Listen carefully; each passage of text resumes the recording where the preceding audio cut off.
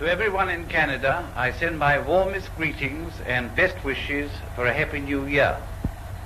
During the past uh, 12 months, uh, we have experienced many difficulties and faced uh, some uh, grave problems. And although if we may not have overcome uh, them all, uh, yet we have made great strides in the right direction. Now, as we are about to enter a new year, let us do so with confidence and a firm resolve uh, to uh, devote ourselves uh, to solving the tasks which still lie ahead of us. With this message of encouragement, I extend to you all my very best wishes for 1948.